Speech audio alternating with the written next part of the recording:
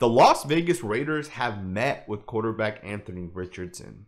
There are reports out there that the Raiders had dinner with Anthony Richardson, and I'm excited to talk about this because it's one thing to meet a guy at the pro day, it's one thing to meet a guy at the draft combine. It's completely different when you're having dinner with this guy.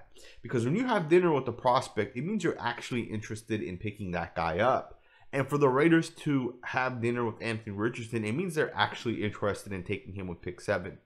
Some people have also speculated the Raiders could potentially trade up to get Anthony Richardson. And if that's the case, I absolutely love it for the Las Vegas Raiders. Now, if you think dinner is not a big deal, if you think that's a small thing, uh, consider this. The Raiders also have Anthony Richardson scheduled for a top 30 visit. A thing that is limited, right? To me, that's massive for the Las Vegas Raiders. Uh, the Raiders are clearly interested in Anthony Richardson, and if he's on the board, I have no doubt in my mind the Raiders are going to draft him. If Anthony Richardson is on the board with pick seven, I think the Raiders are going to get their future quarterback. And I'd be fired up for it because to me, Anthony Richardson is a very, very, very good prospect. Uh, to me, he is that Lamar Jackson with the body type of Cam Newton. And I say Lamar Jackson because that is how fast and quick and explosive this guy is. Like he is one of the quickest quarterbacks we've ever seen. Like he has that Lamar Jackson quickness. And what's crazy is some people say, well, he's kind of like Jamarcus Russell. He's, you know, developmental. And that's not that's not true with Anthony Richardson. Anthony Richardson's tape is much better than what Jamarcus Russell had back in the days, right? Anthony Richardson is a much better prospect than quarterbacks we've seen in the past. And in my opinion, if this guy could be brought into the Raiders, we should pull that trigger. Uh, yeah, we have Jimmy Garoppolo under contract, but you can get out of it at the end of this year. And yeah, you'll incur dead cap, but you can always restructure and push dead cap into two years potentially if you cut him at the end of this year. Plus, having him on the roster will benefit a quarterback like Richardson. You don't have to put him in right away, right? You can let him sit. You can let him develop for a couple of games, uh, maybe a season, and then over time he takes over. Um, either way, the Raiders are bringing him in, and I'm fired up about it because to me, this is exactly what the Raiders need. They need to get a, a, a difference maker at the quarterback position. You know, you look at a quarterback like uh, Joe Burrow and you look at all the success he's had so far in his career, and you can say it's probably because of the weapons that the Bengals have on the offensive side. Yeah, they have a pretty good defense as well, but their defense isn't top 10, right? And their defense is nowhere near the offense. And the offense is as explosive, partly because of Burrow, but primarily, in my opinion, because of those weapons. Guess what? The Raiders got weapons as well. So for me, Richardson coming in with our weapons is the perfect fit for him. Uh, in some other news, yesterday we, we heard something very interesting with um, Jalen Carter here, the defensive tackle, who apparently the Raiders had already knocked off the board. Uh, if you guys remember, the, yesterday I made a video talking about a statement that was put out there by Vic Tafur, or I should say a report by Vic Tafur, who, who works for The Athletic uh, he put a report out there saying the Raiders have crossed off Jalen Carter off their board. Uh, at this point, the Raiders are no longer interested in Jalen Carter because of the entire situation that he's kind of going through. And I said that I think it's ridiculous that the Raiders would do this. One, this early. Two, with this type of generational prospect, right? And what's crazy is we've heard now from Josh McDaniels, who came out and directly stated that that report is false. Uh, in fact, he told Vincent Bonsignore, who works for the Las Vegas Review Journal, uh, Vincent is also the guy that um, the Raiders directly contact when they need to get information out there. Uh, Vincent said he just spoke to Josh McDaniels, and McDaniels reiterated what he told reporters about Jalen Carter on Monday. Contrary to a recent report, he's talking about Vic Tafur's report, the Raiders are doing their due diligence on Carter, who remains on their draft board. Carter will meet with the Raiders as one of their uh, top 30 visits in April. Um, so keep that in mind, right? Jalen Carter will come in and the Raiders will meet with him the same way they're meeting with Anthony Richardson, which means the guy's not off the draft board either, right? Uh, so I didn't want to just kind of make that update and throw it in here based off the report that we, you know, kind of reported yesterday. Jalen Carter is still on the board, and that is the right way forward. If Jalen Carter is off the board, you don't state that, right? Like, why, why would you state that he is off the board? Like, it doesn't make sense because there are teams out there, like, for example, the Falcons. The Falcons can easily jump the Raiders and say, hey, the Raiders are going to take Jalen Carter, and we really want Carter. And they can say, hey, we'll swap picks with the Lions, who have pick six right before the Raiders. We'll swap our first pick. So, Lions get the eighth pick, we get the sixth pick. And for the Lions to just jump back two picks, we'll throw in a, a second round pick from next year, right? Because Jalen Carter is a generational prospect. Jalen Carter is in that Nick Bosa, Myles Garrett class, right? He isn't Clelin Ferrell. He isn't, um, you know, he isn't Josh Allen or Montez Sweat. He isn't one of these guys that has to develop. The guy has already developed. The guy is already going to be one of the best defensive players in the NFL day one. Like that is Jalen Carter. And to me, if the Raiders say they are out, doesn't make a whole lot of sense, right? Uh, they want to stay in, uh, obviously, because then a teammate jumped in, which could also mean a quarterback could fall to the Raiders. So, either way, kind of interesting. Uh, in some other news, Vic Tafur put this out just a couple days ago, talking about Josh Jacobs.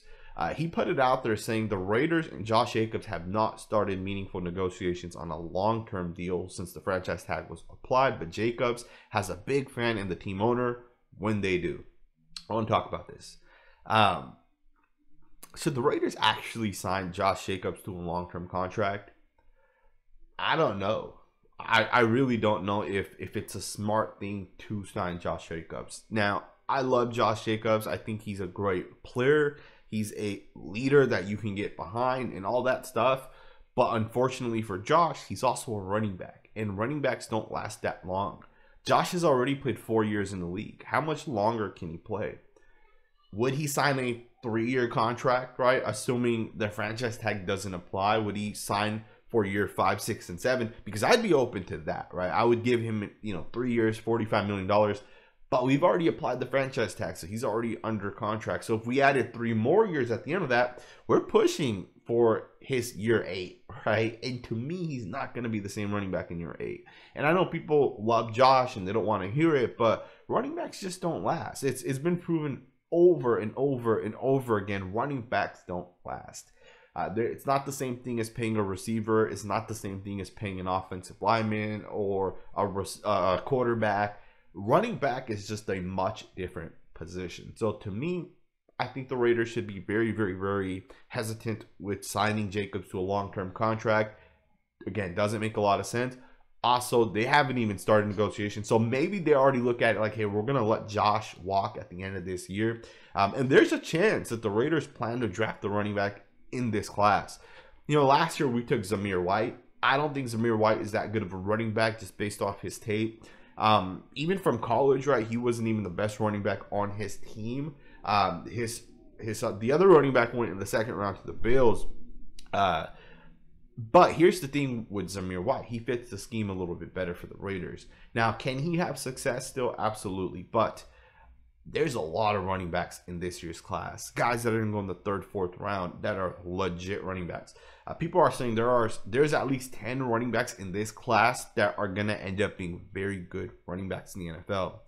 And if that happens, right, if the Raiders take a running back, I could see one coming in the second or third round. So uh, we'll see what ends up happening. Finally, Bucky Brooks did a mock draft, and uh, he did a mock draft where he um, had the Raiders taking a prospect that I think a lot of us would be very interested in actually getting.